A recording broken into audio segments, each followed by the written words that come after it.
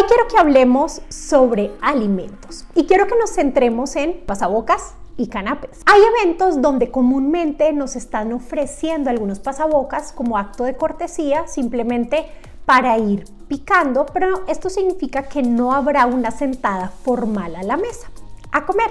Así que hay algunas cosas que debemos tener en cuenta para saber portarnos con gracia y elegancia.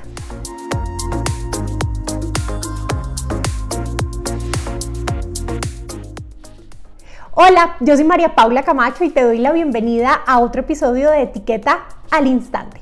Hoy hablaremos sobre pasabocas canapes. En estos eventos que nos suelen ofrecer pequeños pasabocas, lo correcto será siempre tener una servilleta de papel en nuestra mano y junto con nuestra bebida vamos a sostenerlo siempre con nuestra mano izquierda.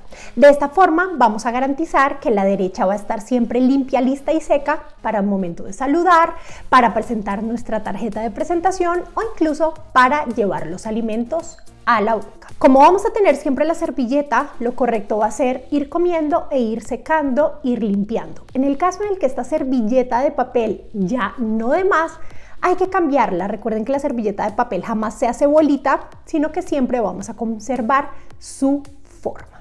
Que un alimento sea gratuito, que sea un acto de cortesía, no significa que podemos tomar toda la bandeja o todos los que queramos. También hay que ser medidos.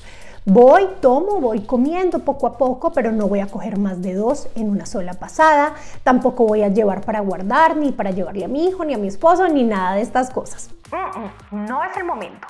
Cuidado, porque que hayan elementos gratuitos no significa que puedo ir a acaparar todos los que hay. Debo pensar en las demás personas que también están en el mismo evento.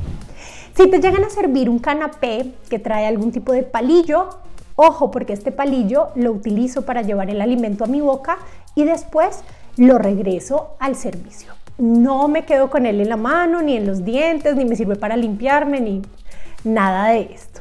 Lo mismo pasa con las cremas o sopas que a veces vienen en una cucharita o en un vasito como un shot. Esos los tomamos en un solo bocado y vuelven al servicio. No nos quedamos con mil cosas en la mano, sino siempre vamos a estar regresándolos. Y por último, no olviden que todos estos alimentos al final conforman una pequeña degustación. Entonces, vamos a evitar comentarios como, ¿y cuando viene la comida? Uy, quedé con un hambre. No, es una mera cortesía, como un poquito y ya está. Son momentos diferentes de un evento y también está correcto. Por favor, déjame en los comentarios todas tus dudas, preguntas e inquietudes y no olvides dejarme qué otro tema te gustaría que habláramos en etiqueta al instante. Nos vemos en un próximo episodio. Chao, chao.